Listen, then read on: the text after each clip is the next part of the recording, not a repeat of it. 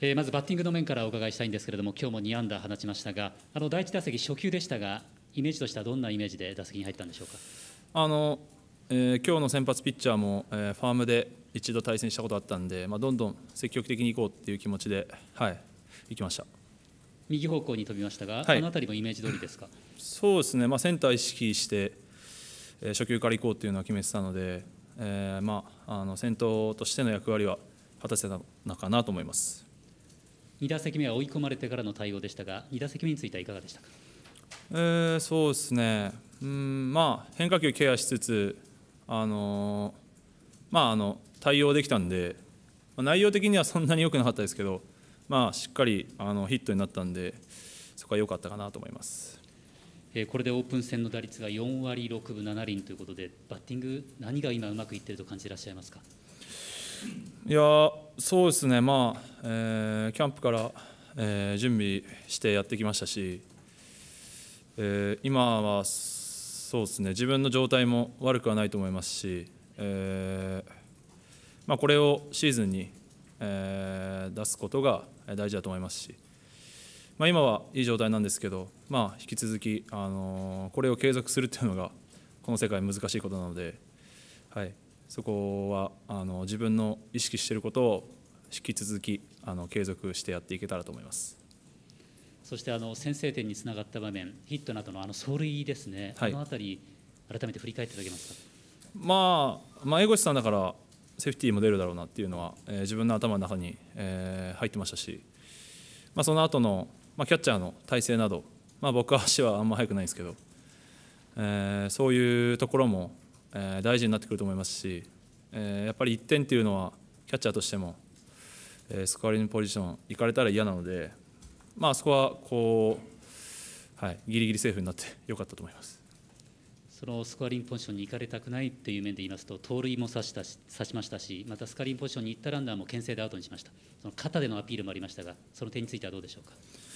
いや本当、えー、しっかりと、えー、準備も、えー、できてましたし、えーはい、その面も、えー、アピールしないといけないところだと思っているので、まあえー、あとオープン戦1試合になりますけど、引き続き、えー、気を引き締めて、攻守ともにやっていきたいと思います。上沢投手のことについてもお伺いしたいんですが、今日受けていて、どんな印象を持たれました？そうですね、まあ、奈さん、本当、えー、前回はちょっと思う、自分が多分思ってるような投球はできなかったと思うんですけど、まあ、本当、久しぶりに、まあ、今シーズン初めて組ませてもらって、まあ、僕は本当ここ何年か上沢さん、えー、組ませていただいているので、まあ、上沢さんのそのいいところだったりそういうところも話したりする中で、まあ、こうシンプルにこう考えをまとめて今日は試合入れたと思うので、まあ、2本ホームラン打たれたところは、えー、反省しないといけないと僕自身も思いますし、まあ、またあの次は上沢さんも、えー、開幕している時にもう投げると思うので、はいえー、今日はえー、いい上沢さんのピッチングを後押しできたのかなとは少しは思います。あのホームランはいずれもストレートだったと思うんですが、はい、ストレートの質などは特に変わらずっていうそうですね、まあ、あの前回の投球でストレートがうんっていう話は少しはしてたんですけどいや今日久しぶりに受けて全然ストレート良かったと思いますし、うん、えー、まああの上沢さんとも少し話して、まあ、反省点とかまあ、こういうところあるんだよねっていう話は、えー、少しはあったんで、まあ、またブルペンで受けていったりとかそういうところで、あのもっと良さを、あの開幕に向けて、えー、僕自身も勉強できたらと思います。あの正捕手争いも非常に激しいものがあって、はい、まあ、これだけ好調ですがあのベンチから試合を見つめる時間もあると思いますけれどもそういった時間含めてどんなふうに毎日過ごしていらっしゃいますか？いや本当、えー、僕自身も、えー、2軍の方からスタートして、えーまあ、悔しい思いっていうか、えー、キャンプも